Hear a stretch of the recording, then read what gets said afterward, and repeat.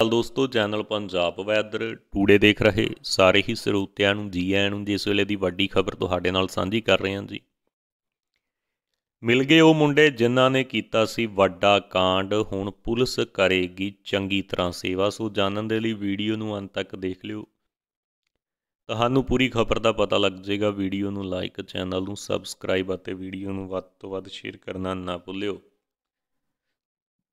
Phagwara police ਨੂੰ ਉਸ ਸਮੇਂ ਵੱਡੀ ਸਫਲਤਾ ਹਾਸਲ ਹੋਈ ਜਦੋਂ ਪੁਲਿਸ ਨੇ ਤਿੰਨ ਨੌਜਵਾਨਾਂ ਨੂੰ ਕਾਬੂ ਕਰ ਲਿਆ। ਪੁਲਿਸ ਵੱਲੋਂ ਇਹਨਾਂ ਨੂੰ ਇੱਕ ਦੇਸੀ ਪਿਸਤੌਲ ਵੀ ਇਹਨਾਂ ਦੇ ਕੋਲੋਂ ਬਰਾਮਦ ਹੋਇਆ ਹੈ।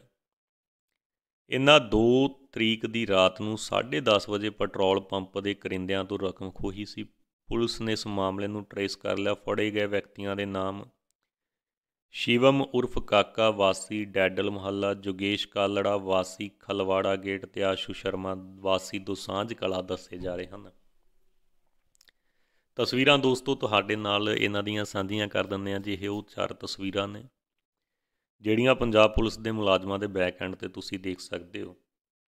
ਪੁਲਿਸ ਦੇ ਵੱਲੋਂ ਇਹਨਾਂ ਦਾ ਰਿਮਾਂਡ ਹਾਸਲ ਕੀਤਾ ਜਾਵੇਗਾ। ਪ੍ਰੈਸ ਕਾਨਫਰੰਸ ਦੌਰਾਨ ਸੀਨੀਅਰ ਪੁਲਿਸ ਅਫਸਰ ਨੇ ਦੱਸਿਆ ਕਿ 2 ਤਰੀਕ ਦੀ ਰਾਤ ਨੂੰ ਪੈਟਰੋਲ ਪੰਪ ਤੇ ਕਰਿੰਦਿਆਂ ਤੋਂ ਗਨ ਪੁਆਇੰਟ ਤੇ ਕੁਝ ਰਕਮ ਖੋਲੀ ਗਈ ਸੀ, ਜਿਸ ਦੇ ਦਰ ਕਰਕੇ ਐਸਐਸਪੀ ਦੀ ਰਹਿਨੁਮਾਈ ਦੇ ਹੇਠ ਇੱਕ ਪੁਲਿਸ ਟੀਮ ਇਸ ਦੀ ਜਾਂਚ ਕਰ ਰਹੀ ਸੀ। ਪੁਲਿਸ ਨੇ ਇਸ ਸਬੰਧ ਵਿੱਚ ਤਿੰਨ ਵਿਅਕਤੀਆਂ ਨੂੰ ਕਾਬੂ ਕੀਤਾ।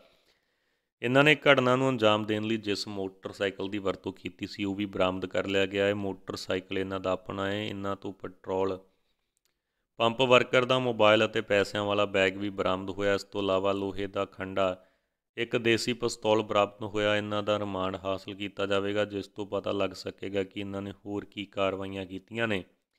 ਸੀਨੀਅਰ ਪੁਲਿਸ ਅਫਸਰਾਂ ਦੇ ਦੱਸਣ ਮੁਤਾਬਕ ਉਹਨਾਂ ਦਾ ਇੱਕ ਸਾਥੀ ਦੁਬਈ ਦੇ ਵਿੱਚ ਵੀ ਦੱਸਿਆ ਜਾ ਰਿਹਾ ਹੈ। ਉਸ ਤੇ ਵੀ ਕਾਰਵਾਈ ਕੀਤੀ ਜਾਵੇਗੀ। ਉਹ ਜਦੋਂ ਵੀ ਕਦੇ ਯਾਤਰਾ ਕਰੇਗਾ ਤਾਂ 에ਅਰਪੋਰਟ ਦੇ ਉੱਤੋਂ ਹੀ ਫੜਿਆ ਜਾਵੇਗਾ। ਉਹਨਾਂ ਨੇ ਦੱਸਿਆ ਕਿ ਇੱਕ ਹੋਰ ਮਾਮਲੇ ਵਿੱਚ ਪੁਲਿਸ ਨੇ ਬਸਰਾ ਚੌਂਕ ਤੋਂ ਸੰਨੀ ਨੂੰ ਕਾਬੂ ਕੀਤਾ ਹੈ, ਜੋ ਬੋਲੀ ਦਾ ਰਹਿਣ ਵਾਲਾ ਉਸ ਦੇ ਕੋਲੋਂ ਦੋ ਪਿਸਤੌਲ ਬਰਾਮਦ ਕੀਤੇ ਗਏ ਹਨ। ਸਤੰਬਰ ਮਹੀਨੇ ਵਿੱਚ ਕਿਸੇ ਦੁਕਾਨਦਾਰ ਤੋਂ ਪੈਸੇ ਖੋਹੇ ਸਨ। ਹੋਰ ਜਾਣਕਾਰੀ ਦੇ ਲਈ ਤੁਸੀਂ ਚੈਨਲ ਤੇ ਪਾਈ ਹੋਈ ਵੱਡੀ ਵੀਡੀਓ ਦੇਖ ਸਕਦੇ ਹੋ।